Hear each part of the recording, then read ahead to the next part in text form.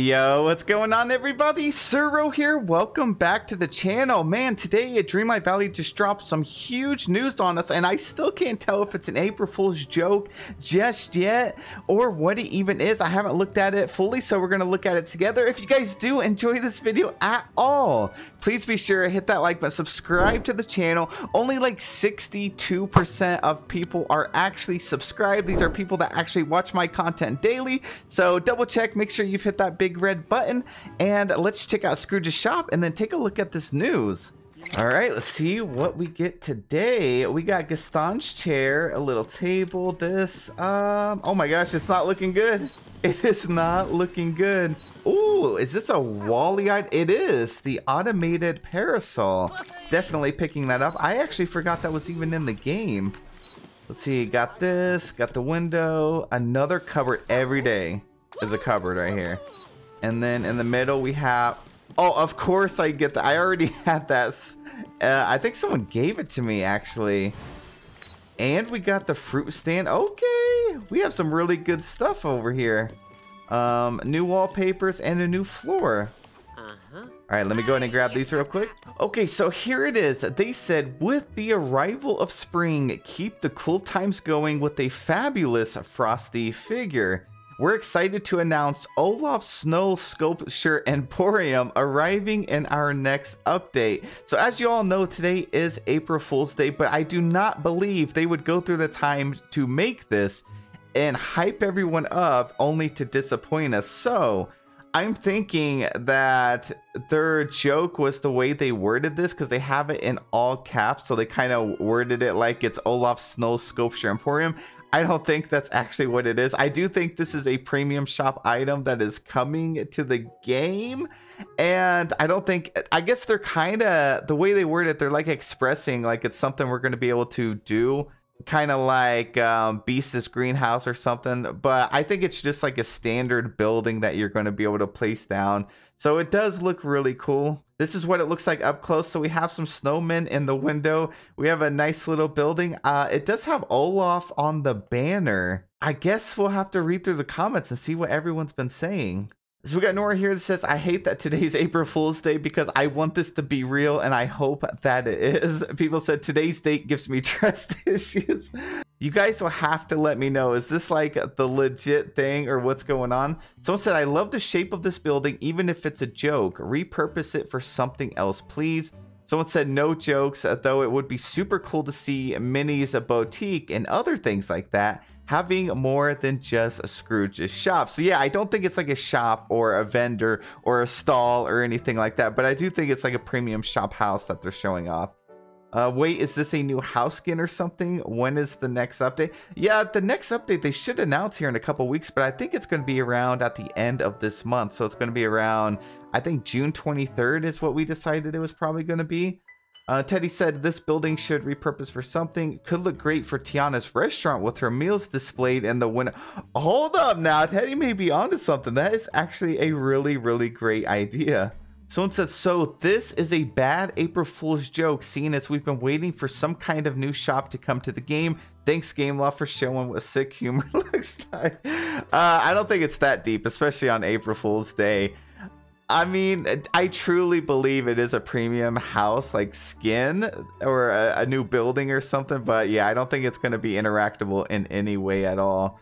I know this snow sculptures thing is a joke, but this building still better be added to the game because it is beautiful. 100%. They're not going to develop it and make that image just for that.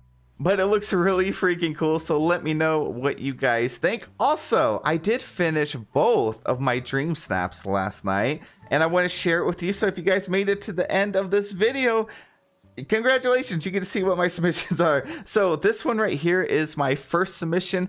I actually think i'm going to slightly change it because i'm starting to think i may actually enjoy my second submission a little bit better. But with this one i went with the whole sword vibe. I know a lot of people have been going for that this week. So i decided to do a similar theme and then just completely change the whole background and everything. And i came up with this got the lighting on my character built it around with some of these uh, trees that i just don't see people use too often.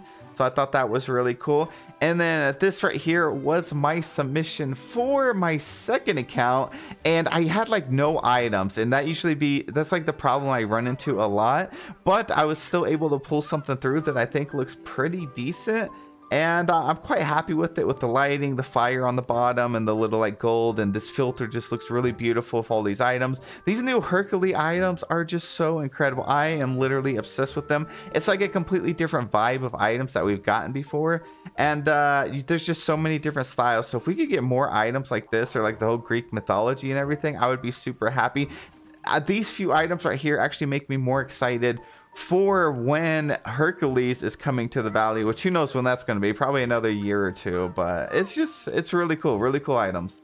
Alrighty, let's do a little bit of voting this week. Man, this voting, I'm not, I'm not gonna lie, it's been rough. this week has been rough. But right off the bat, we have an insanely amazing submission. This is what I love to see. They got some summer flowers. They got winter background. Their character is summer and winter. Love this. Almost the same outfit that I had on actually. The the shoes are different, but that's about it. Oh, and then the shirt.